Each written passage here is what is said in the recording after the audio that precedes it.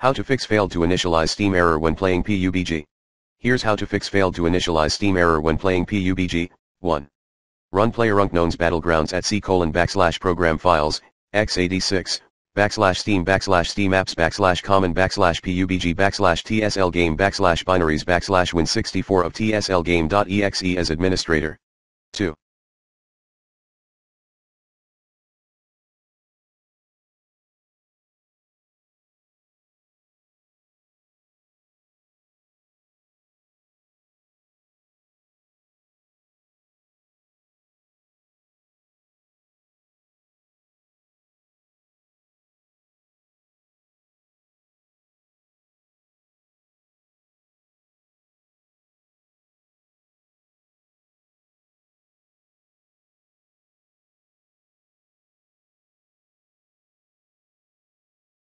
Double check the folder name for Battlegrounds is in English only.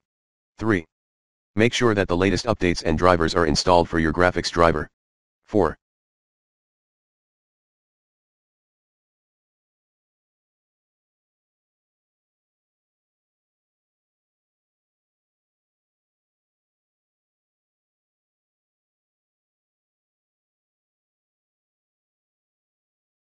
Reinstall Microsoft Visual C++, 2013 and 2015.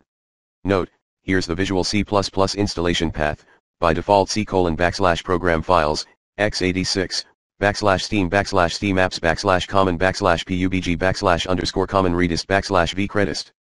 5. And the steam process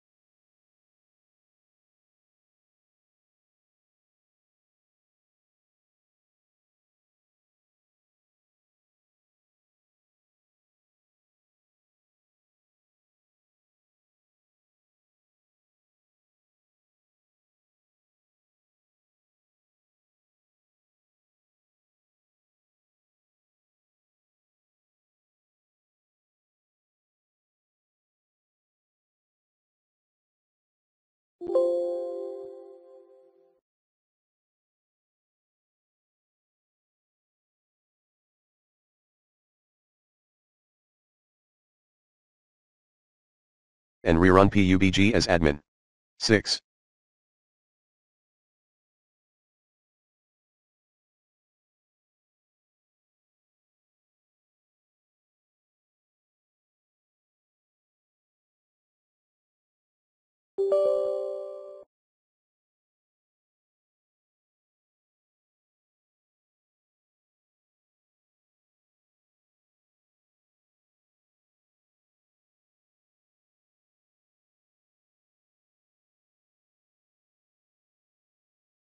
Disable full screen optimizations for TSL Game or TSL Game.exe.